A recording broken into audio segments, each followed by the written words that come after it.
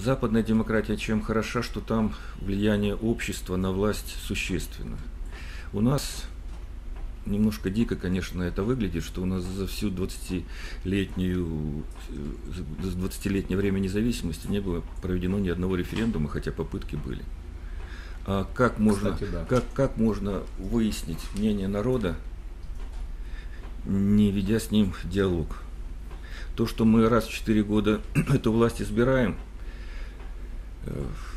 я думаю, что этот механизм не отражает ни мнения народа, ни его, э, так скажем, пожеланий власти, потому как э, обещает нам много и часто, а вот исполнение этих обещаний э, зачастую выполняется плохо.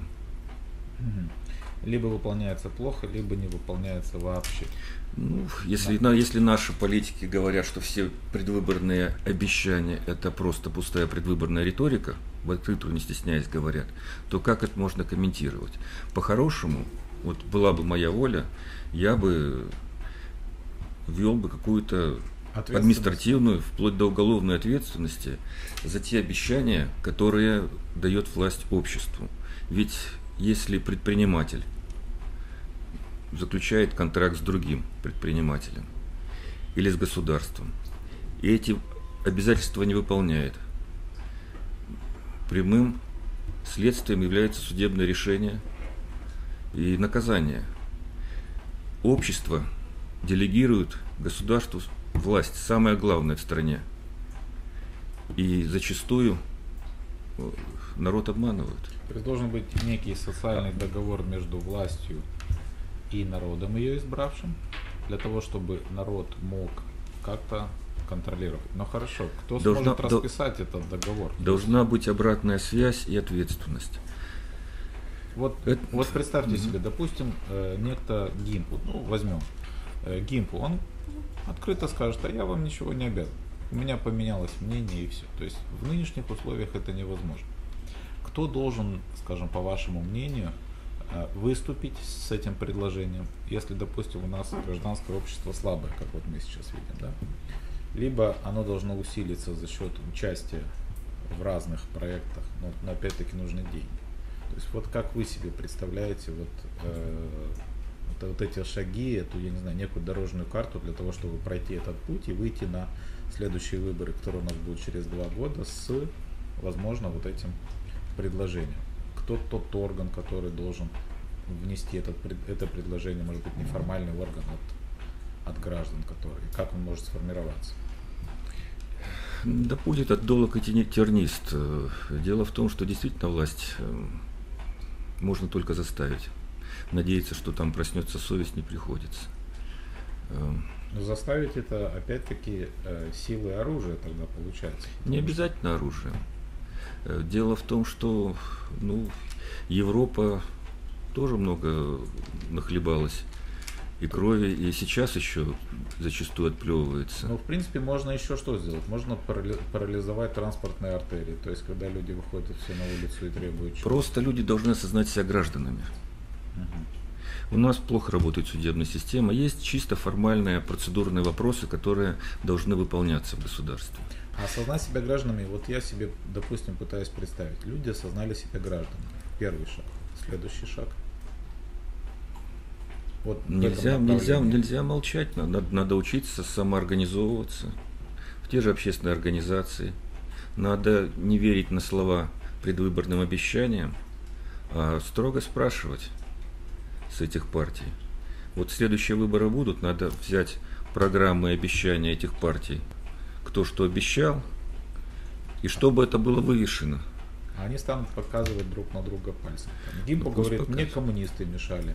Коммунисты говорят, нам либерал-демократы мешали. Ну. Они Либерал-демократы говорят, что а нам вот тут демократы мешали. И Не- получается, что мы как общество у вот в таком пе- перед игроком в наперстке, знаете, потому что мы не- не- немножко не понимаем, что происходит, а если и понимаем, то в любом случае наша позиция изначально выигрышна в этом. Вот вы, доп- допустим, напомнили про то, что не проходили референдум.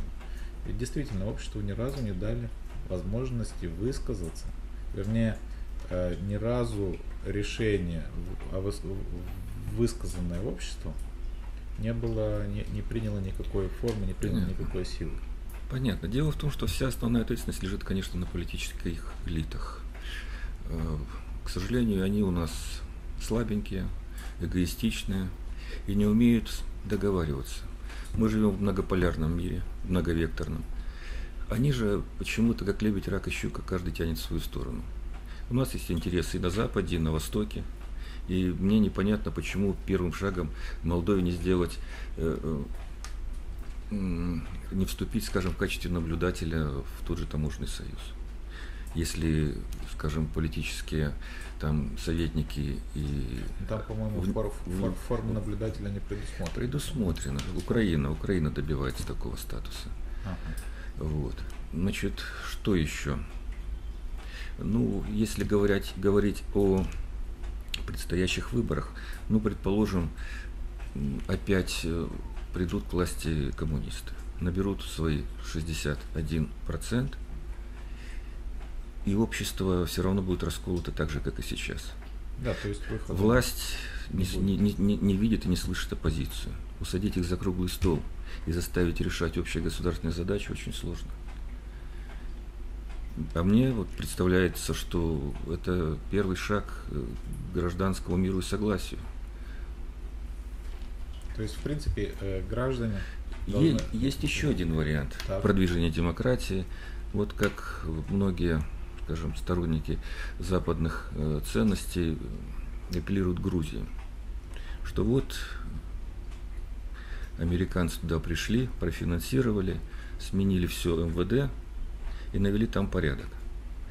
Но сейчас мы видим, что не все так просто, что это, Ну да, не- была это- красивая это- вывеска. это не является э, ростками демократии. Это скорее, ну, скажем, опричины времен Ивана Грозного, когда э, или Тантан Макуты, тоже в известный период, когда люди э, состоят на службе у государства, получают все блага и И понимая, всё понимая это, начинают строить взорвавшихся бояр. Вот то примерно, что сейчас мы получили в Грузии.